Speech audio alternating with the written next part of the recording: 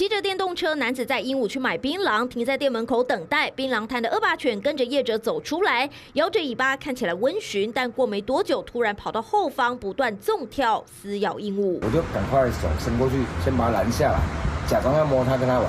结果它就闻一下，马上跑到我的后面，啊，就跳起来了。我当下整整个傻眼，金刚鹦鹉的肚子跟脚。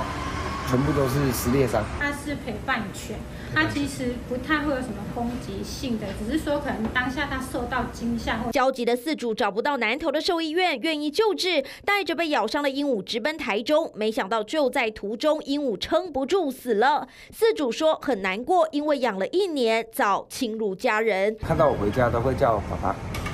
啊，所以突然看到它死掉，我真的很不舍。被咬死的是混种金刚鹦鹉三代，饲主当时花四十几万元买幼鸟。说老板娘说她要赔给我，也是四十几。她原本说要分期给我，说那我可能不能接受了。四十三是他可以接受的价格，两个方案我们都已经在同时进行中了。我这边也是也在找贷款。训犬师认为恶霸犬有斗犬的血统，还是建议要绑住。跟狗去追车子是一样，因为有在动嘛，啊，所以那只恶霸犬就可能就不小心去咬到那只那只鸟。